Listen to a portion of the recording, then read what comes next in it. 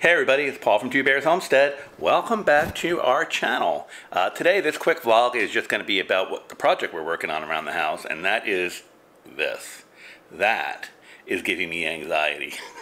That's the shelf. I pulled it out of our pantry which you see behind me over there, in that white space. I um, through the holidays and you know just kind of like the pantry got into disarray and I, I, I don't know what happened but it like it was never completely set up the way I wanted it set up so we are de deconstructing it today pulling everything out. We're going to put a shelf above the shelf rack for like you know the, the stuff that you don't use and you know often you know parts to like you know the KitchenAid uh, attachment stuff that's just you know, it just needs to be up and out of the way. And then um, I just need to organize it a little bit. This will be the only time you get to see my pantry, uh, you know, on YouTube or on the internet at all. So um, this is my working space. This is not my uh, my um, full pantry, if you will. So this is just because literally, I mean, and it's in disarray. So it's literally, the pantry's right there, and then my kitchen's right here. So it's all just, uh, you know, all kind of in my working space. So we are going to kind of show you what we're doing and uh, off we go.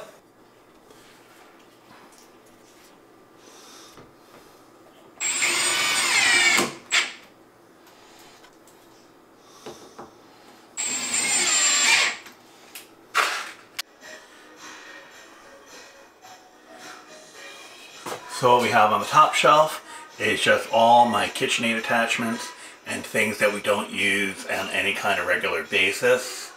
You know, extra pans, plasticware, that kind of stuff. I put these in the middle because I do use them more than um, any of this stuff. But I just wanted to make sure it was up out of the way. I have a step stool right here so I can always just grab them. But uh, that's the top shelf. So I bought all that real estate back on my regular shelving. Okay, so here is the final, I guess, walkthrough of my pantry. The only time you'll see this on video um, from this point forward. But basically, the pantry is right there. And I have the door open a little bit, so it's just easier for the video's sake. But this is my front door here. And, but that used to actually just be a window. So this window had a duplicate window here, and then that front door was in that room going out. Like you can see, if you can see through the front door, there's like a little deck balcony there. We added all that in so we can move the front door over to here, because that was a that was a foyer. It was a weird use of space. I mean, I'm sure it was okay, but you know, it just un, it was non-functional and obsol functionally obsolete, if you will, for our home. So we enclosed that, put two ball hitch doors on there, and made that a pantry. So it worked out really well. Outside of the pantry is this little uh, what do you want to call that, a hutch or sideboard or whatever. Um, it's something just cheap that I bought on Amazon, slapped together.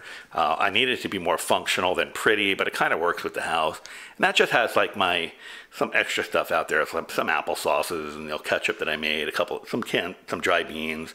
Just really, you know, you know, it takes some stuff out of the pantry, but it also serves a purpose. But the real purpose of this was getting the bottom storage. And then the, the bottom cabinet down there has just like canning supplies, just the, the um, like fermenting weights and fermenting springs and you know, the salts, the citric acid, all the little miscellaneous tools that come with canning are all kind of down there. Like the rings and the jars and all that stuff are in a different place. So we're going to go into the pantry. I'm just going to open these doors and then step back a little bit. So kind of like right where those bags are hanging used to be where the front door was. The door used to go out that way. So now that door's here and it works out really well. So we got the freezer in there. And then we have the rack that I purchased. On the door, we added the, um, what do you call that, the baggy racks, the saran wraps and all that fun stuff. That was eating up valuable real estate on the shelf, and it was just like a clutter mess. So, and it really was giving me anxiety. And then, so when I opened the door, this flat end of the rack here is kind of like the first stuff that we use, the first stuff that we grab. So I made it in such a way that it's the, that stuff's right there.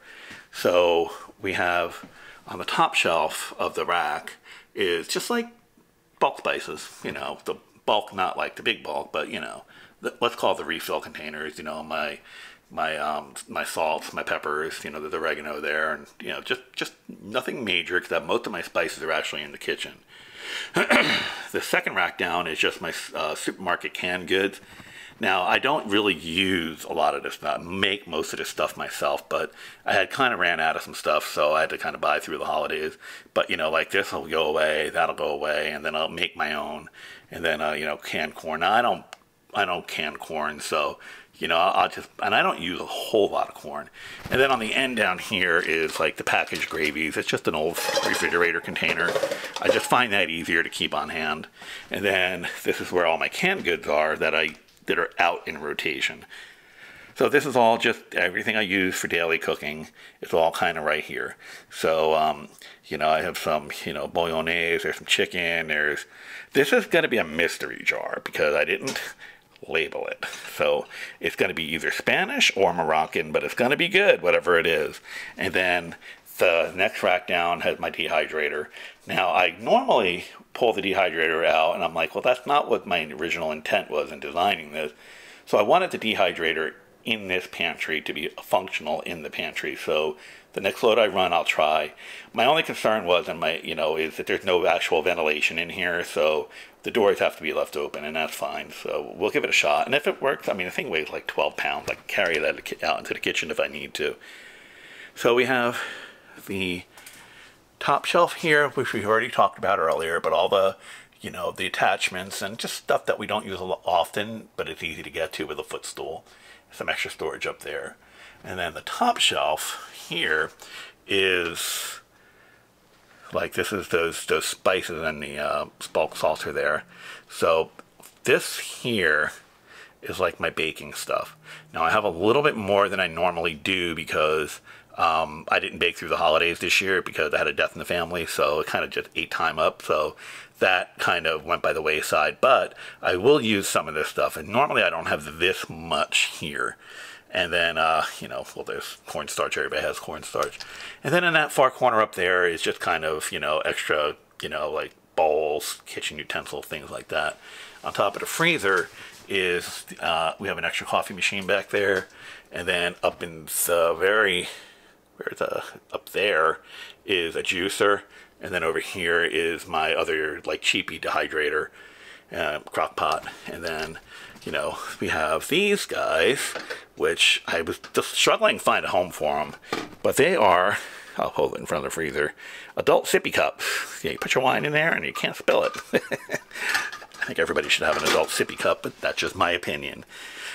So the second rack down is um, where it starts getting into more daily usage. Like, you know, in that back corner, I'm left-handed, so I can reach that stuff easily back there. And it's, um, you know, so, but just, you can see what the stuff is. I don't have to explain it to you. And then uh, this little bit here, I have extra space here, you know, the fill.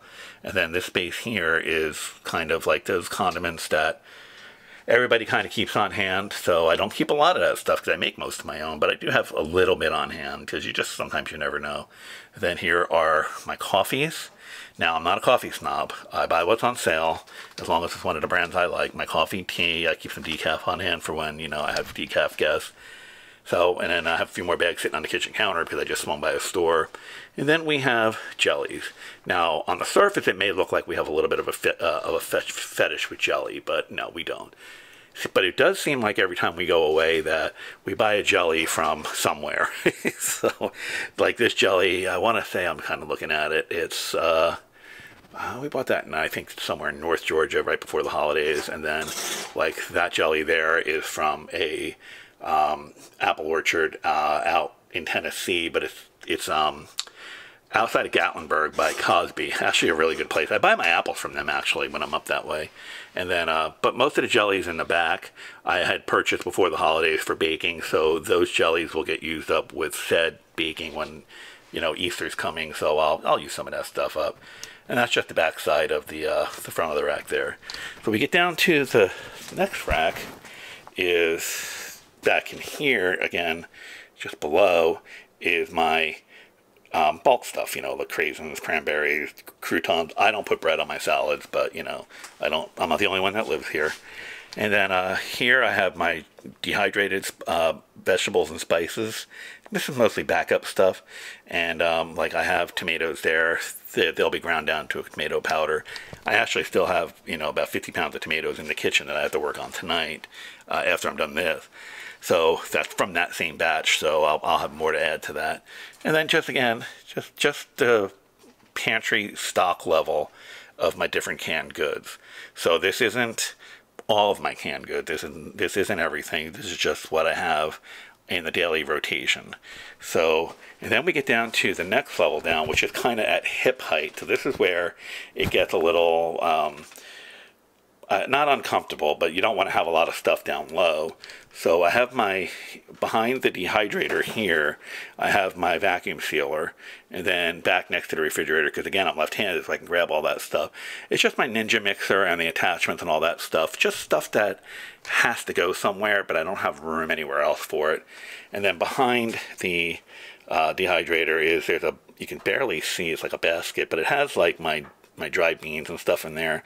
And uh, those are extra bags of nuts. Again, that's all from Christmas, so I have to use all that up, and I want to get them processed and, and, and stored somehow. So this is kind of like a utilitarian shelf.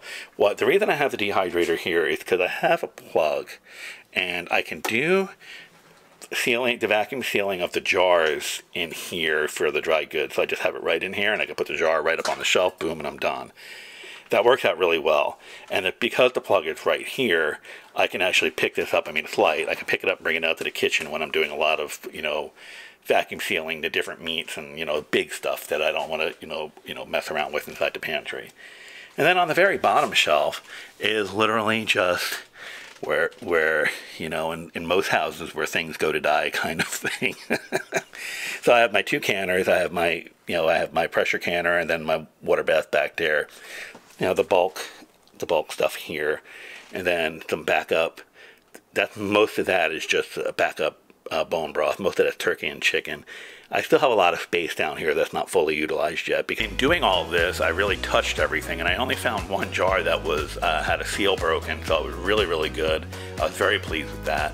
And I also went through everything and made sure I checked all the dates on the stuff that you know, you know, I did find a couple of out of thing, out of date things, and it was it was really out of date, embarrassingly so, but that happens. That happens to all of us. That's why having a working pantry really, really helps. So that is the great pantry tour. Okay, well, thank you very much for coming along on our pantry deconstruct and reconstruct. I hope you got something out of it. For me, the important thing is kind of letting people know how we're doing it with a little bit of space that we have, because I think everybody can learn something from somebody else, so I think that's important. Um, but that's me. So I did want to point out is we have that light up there. We actually had changed out the cheap dome light that was there and we put that flat bright LED in so that, that, that lights it up so it's really cool. So that's about it. So uh, if you like what you see, if you like our journey, please uh, hit like and subscribe and you know tell a friend about us. That's the biggest way you can help us expand our channel is just tell people about us and uh, hopefully they like what they see and they tell some more people and so on. That's it, my friends. I appreciate your time. Thank you for being with us, and we'll see you on the next one. Bye bye now.